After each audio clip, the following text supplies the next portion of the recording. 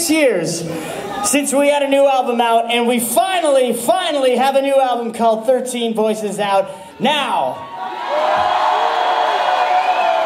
And since, and since it took us so goddamn long to put a record out, after the show, at the merch table, we're gonna be signing CDs if you have one, all right? So we'll see you out there after the show, all right? But in the meantime, I wanna see you motherfuckers jump.